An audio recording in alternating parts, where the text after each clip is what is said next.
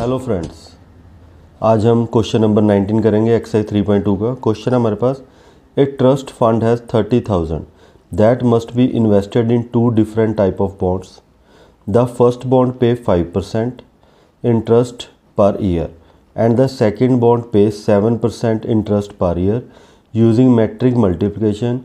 Determine how to divide 30000 among the two type of bonds. If the trust fund must obtain an annual total interest eighteen hundred and two thousand यानी हमारे पास thirty thousand total rupees है और हमने दो bond में invest करना है। एक बॉन्ड हमें दे रहा है फाइव परसेंट इंटरेस्ट और एक दे रहा है सेवन और हमने थर्टी थाउज़ेंड को ऐसे डिवाइड करना है भी हमें टोटल इंटरेस्ट मिल जाए एटीन हंड्रेड या टू थाउज़ेंड तो स्टार्ट करते हैं क्वेश्चन तो let rupees invested in first bond तो हमारे पास है X rupees and let rupees invested in second bond second bond total हमारे पास थर्टी थाउज़ेंड है तो thirty thousand minus X rupees और interest on first bond interest on first bond first bond में हमें इंटरेस्ट कितना मिल रहा है? फाइव परसेंट यानी फाइव बाय हंड्रेड और second bond pay interest on second bond तो इस पर मिल रहा है हमारे पास सेवन परसेंट यानी सेवन बाय हंड्रेड अब इसे हमने मैट्रिक मल्टीप्लिकेशन के अकॉर्डिंग सॉल्व करना है।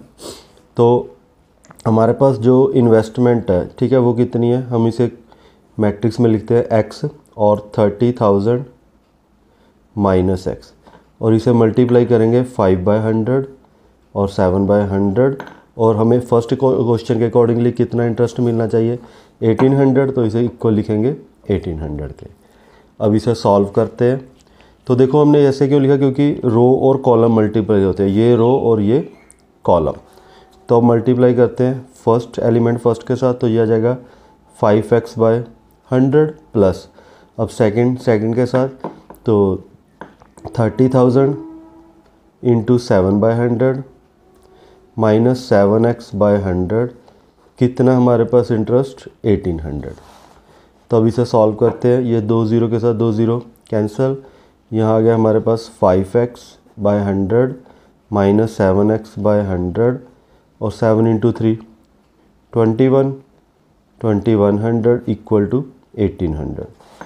Five X minus seven X minus two X hundred, और ये ट्वेंटी वन हंड्रेड उधर जाके क्या हो जाएगा? सब्ट्रैक्ट। तो हमारे पास आ गया minus two X hundred equal to हमारे पास नेगेटिव थ्री हंड्रेड। अब नेगेटिव के साथ नेगेटिव कैंसल तो हमारे पास एक्स आ गया three hundred into hundred divide by two. तो ये हमारे पास cancel fifty fifty into three hundred तो ये आ जाएगा फिफ्टीन थाउज़ेंड।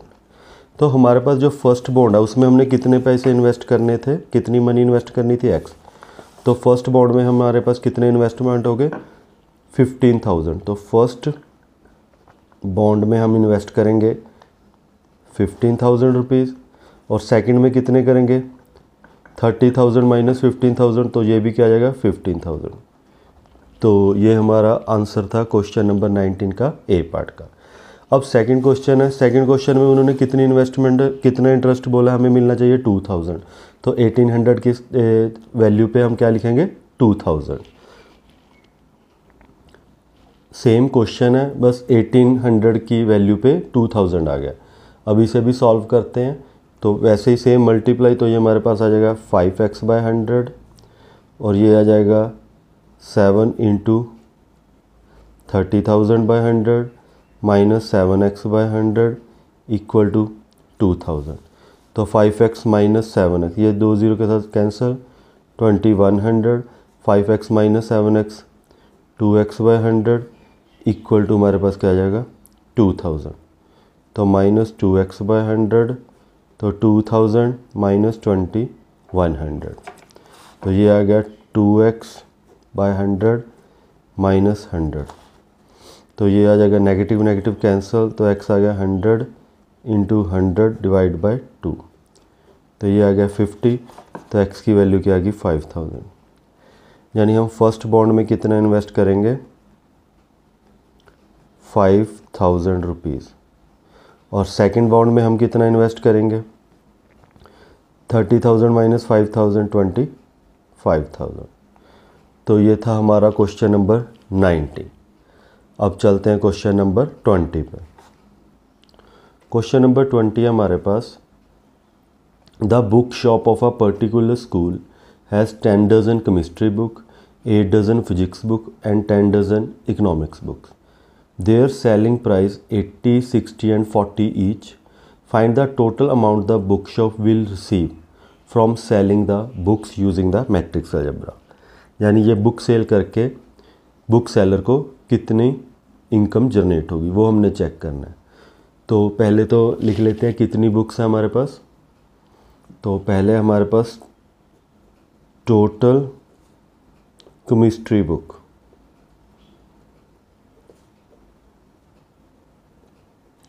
वो है टेन डज़न मतलब टेन इंटू ट्वेल्व तो हमारे पास कितनी बुक्स है? वन ट्वेंटी फिर इसी तरह total physics book